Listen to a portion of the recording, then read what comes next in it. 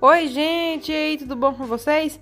Olha só, hoje eu vou ensinar vocês uma receita diferente de pão de goiabada com coco. Isso mesmo, gente, um pão que fica super recheado, que é muito, muito simples de fazer e de uma forma diferente. Então, se você quer aprender a fazer, fica comigo até o final do vídeo. Bora lá aprender a fazer essa delícia.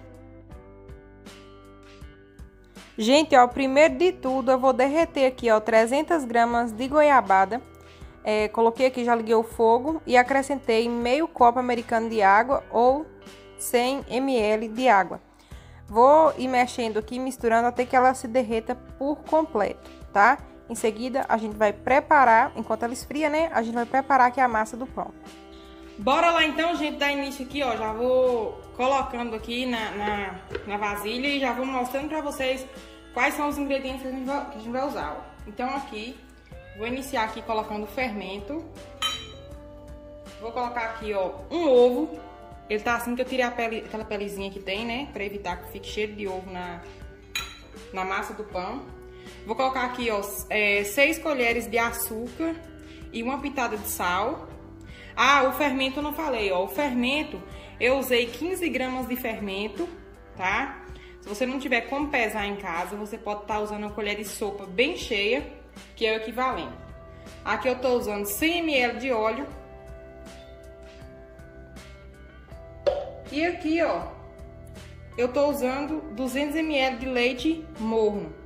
Só que esse leite eu não vou colocar ele todo, né? Vou deixar só um pouquinho no final. Agora eu vou misturar esses ingredientes aqui com a ajuda do fouet. Gente, eu interromper aqui. Já coloquei minha luva que já, já vou colocar a mão na massa. Vou interromper aqui pra me mostrar aqui pra vocês, ó, o ponto que ficou a goiabada, né? Vocês viram que eu coloquei, ó, não tem segredo nenhum. Só coloca água, deixa no fogo e vai misturando. Ó, deixei nesse ponto aqui, porque não pode deixar muito molho também, não. Senão depois dificulta na hora de passar ela no pão, ó. Deixei aqui nesse ponto. Agora vou deixar ela esfriar um pouco pra depois colocar na massa do pão. Gente, ó, já misturei. Aqui agora é, vou acrescentar metade da farinha. Gente, dê, é, é, dê opção aí, né? Escolha sempre uma farinha de boa qualidade para você fazer massa de pão. Faz toda a diferença. E sempre tem que ser farinha sem fermento. Vou deixar aqui na descrição do vídeo todos os ingredientes que eu usei nessa receita, que é para vocês não terem dúvida, tá bom?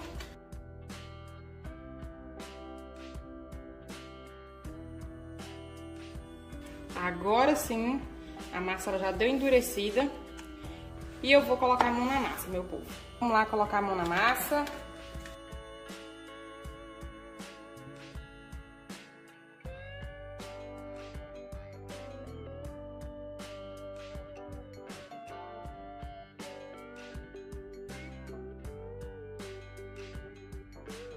Gente, muito cuidado na hora de acrescentar a massa, de acrescentar farinha na massa para que a sua massa não fique pesada, não fique aquela massa seca, tá? É muito importante prestar muita atenção nisso, ó. Não é uma massa que fica grudando, mas ela também não fica uma massa seca, é uma massa bem macia.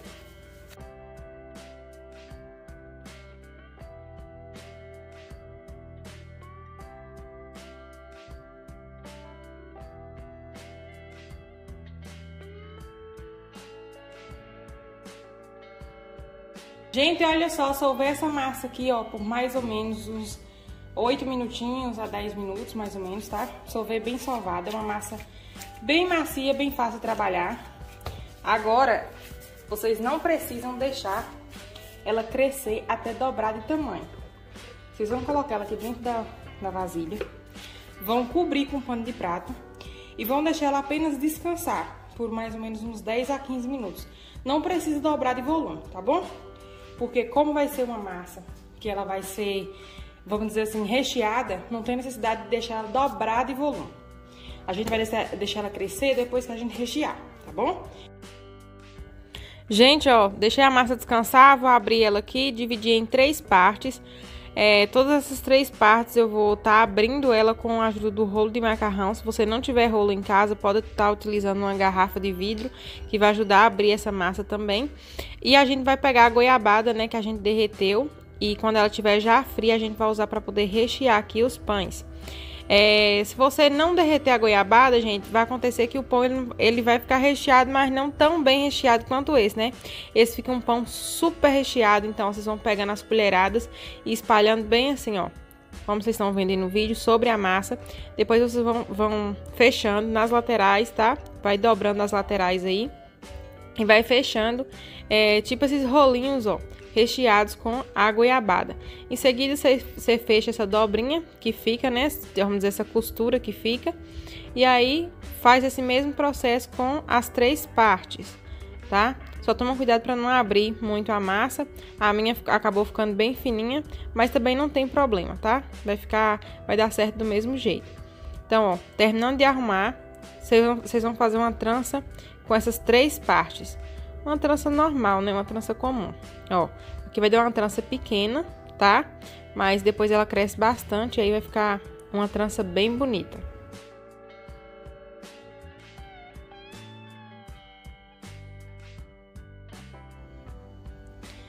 Gente, ó, aqui fiz a trança, com a trança pequena, tá? Coloquei aqui nessa forma.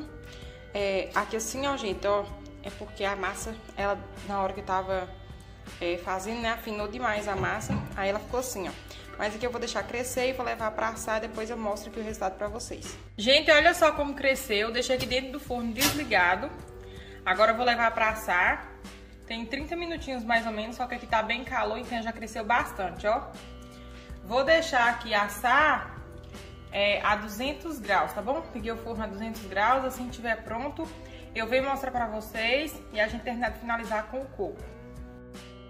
Gente, ó, o pão já assou, ficou no forno por cerca de 40 minutos, tá? Agora eu vou pincelar aqui a goiabada derretida por cima. Vocês podem estar pincelando é, margarina, leite condensado, mas eu resolvi pincelar aqui só um pouquinho de goiabada para poder grudar esse coco, ó, que eu tô colocando aqui por cima. Gente, pensa na delícia que fica esse pão de goiabada com coco.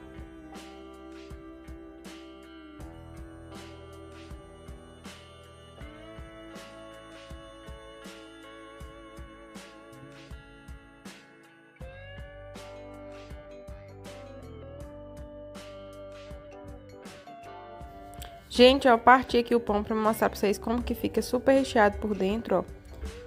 Ficou bem assadinho, bem recheado. Então, façam aí, ó, na casa de vocês, tá? Vocês vão amar, gente. Fica uma delícia esse pão. Muito bem recheado com goiabada. E quem não gosta, né, gente, de um pão recheado com goiabada, é simplesmente maravilhoso. E o coco, né, dá um, um sabor especial e deixa essa receita completa.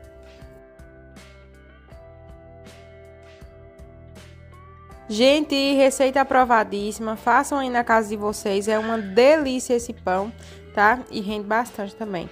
Então, ó, façam aí, depois me digam nos comentários o que, é que vocês acharam. Se gosta da receitinha também, compartilhe. Já deixe seu joinha se você ainda não deixou. Gente, ó, qualquer dúvida, vou deixar tudo anotadinho aqui na descrição do vídeo, tá? Olha aí, fica super macio e super recheado. Então, façam aí, viu? Não passe vontade. Gente, é isso. Vou finalizando o vídeo por aqui. Espero que tenham gostado da receitinha. A todos, meu muito obrigada. Fiquem todos com Deus e até o próximo vídeo.